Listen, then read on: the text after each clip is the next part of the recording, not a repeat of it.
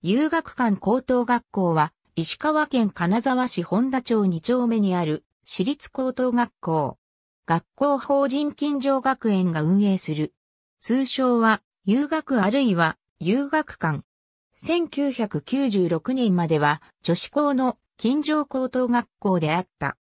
上位学校として、金城大学、金城大学短期大学部。海学校としてかつては、金城中学校、金城幼稚園も存在した。公立の石川県立工業高等学校と隣接している。また同市に式町にサッカー場と野球場を持つ。スポーツが盛んな学校であり、2002年には野球部が総部1年4ヶ月での甲子園出場を果たす。この時は全部員が1.2年生にもかかわらず、ベスト8に入る快挙を成し遂げた。野球部は以降も優秀な成績を残し、石川県の高校野球は、清涼高校、金沢高校の私学二教時代から2010年前後の頃は同校を入れた私学三教時代となっていた。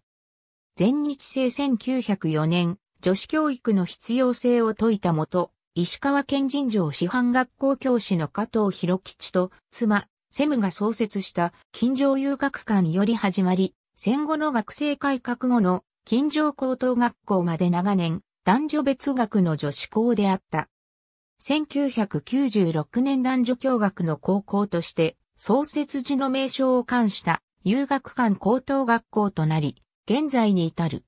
金城高等学校遊学館高等学校、巨人の育成選手、星名博和が暴言、野球なんかしてもつまんねえぞ2021年9月17日、閲覧。